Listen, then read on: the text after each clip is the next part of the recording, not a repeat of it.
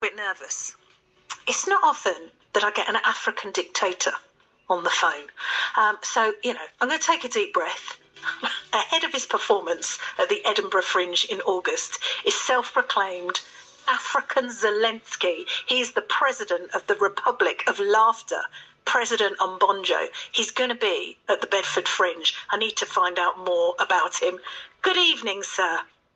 Good evening. I am very, very happy to hear from you, but you have not followed the protocol. You should be saying, you haven't used my pronouns. His I'm Excellency. So sorry, sir. I'm That so is sorry. what you need to say. so so good. Uh, let me start this again. I, I mean, I feel foolish. Totally my bad. Good evening, President. His Good Excellency. evening. How are you?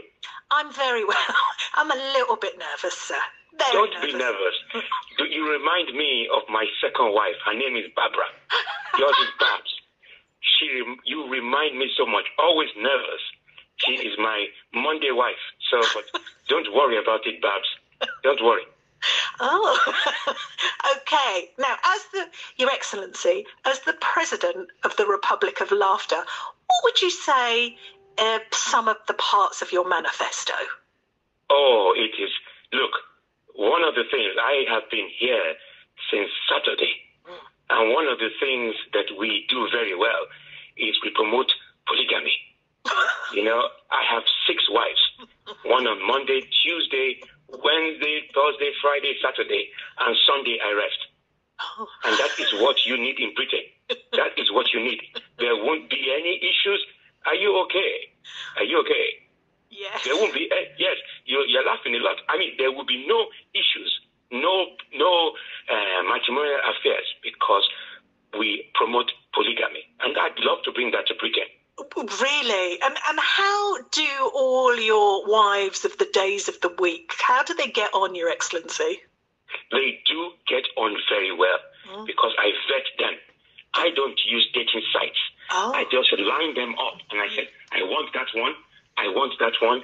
I want that one. It's that simple. is it? Yes, yes. There's no. We don't use Tinder. We don't use Bumble. We don't use Hinge in my country.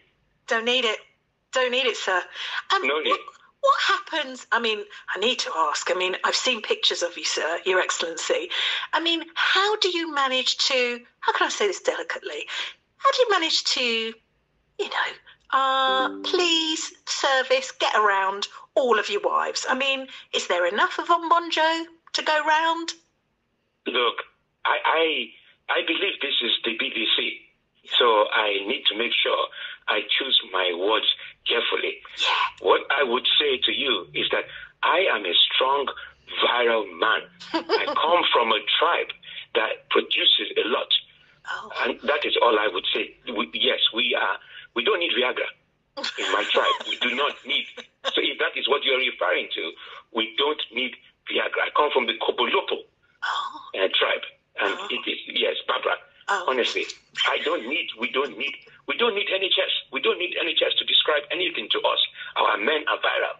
Now, Your Excellency, what's um, if anybody's going to come and see you at the Fringe? Uh, they're coming on Friday. Where will you be, and what can your audience expect? Because I know I think you're going to be at the Quarry Theatre, aren't you? Yes, I am at the Quarry Theatre. I am surprised I'm even able to pronounce that t- name of the theatre properly. It's taking me a while to understand it's the Quarry Theatre.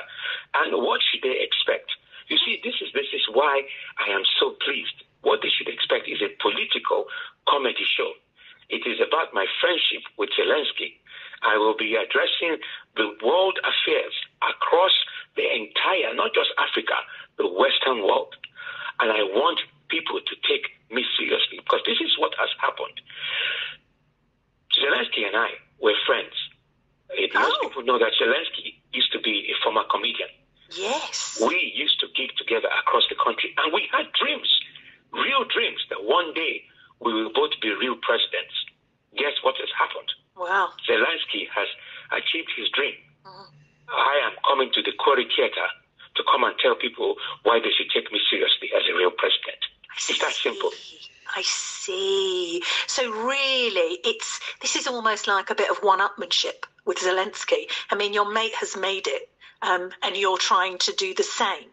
Exactly. Exactly. And I'm trying, and I have evidence that the West should take me seriously. But they have planted stories about me in the press Oh, to make me look like a comedy buffon.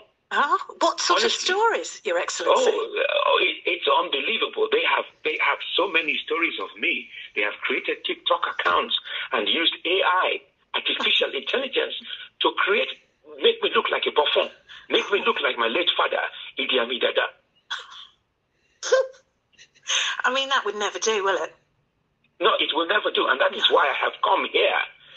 To, because normally I should, I genuinely thought when they told me that I was going to have an interview, I thought I was going to be talking to Sunak, the Prime Oh Minister. no, sorry. So I'm. Oh God, what a crushing disappointment that must have been for you. Uh, Then I am talking to Babs. Yeah, sorry, sorry. I mean, it's it's um, it's no Rishi Sunak, but maybe if you can uh, if you can hang on. I mean, how how long are you in the country, sir?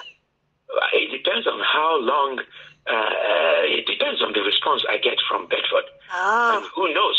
Maybe on the night I might have a seventh wife. Who knows? watch out, people. Watch out. So, President Obonjo, before you go, Quarry Theatre this Friday. What time, sir? It starts at nine o'clock. There is no African time. We are going to start on time. And please forget about your energy prices. Forget about the electricity and gas prices. Come and warm yourselves up at the theater and let's have fun. Let's forget all the problems Britain has at the moment. I will entertain you. And I have to thank you for giving me this opportunity because a lot of these other stations don't want me on air. They don't want me to talk about my show. That's why you will never hear about my show. Ah, But thank you, Babs. you're very welcome, sir. Your Excellency, I'm doing a little curtsy and a little bow as we say goodbye. I bid you farewell. Thank you, President Obonjo. Thank you. You you're welcome, Babs. Maybe I could take you for coffee or tea or something later on. Maybe I could be wife number eight. Thank you very Yeah, wife number eight. Thank you. Thank you, President. Bye. Bye. Bye. Every